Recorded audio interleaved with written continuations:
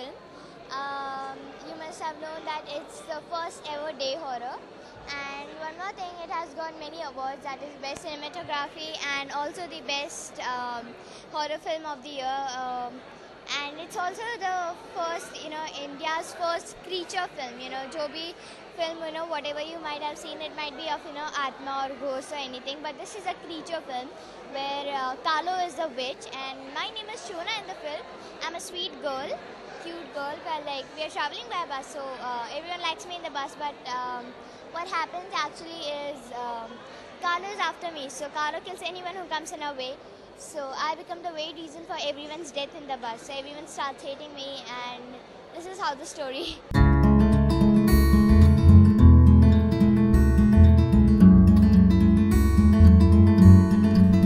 I'm playing a model in Kaalo and she is an aspiring uh, Miss India. She is going to Jaisalmer to have a photo shoot.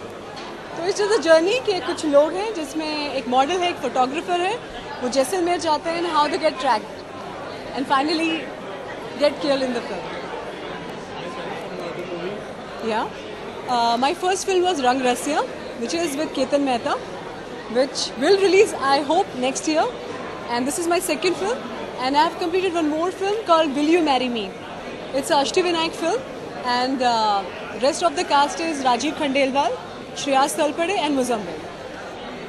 So that's the film.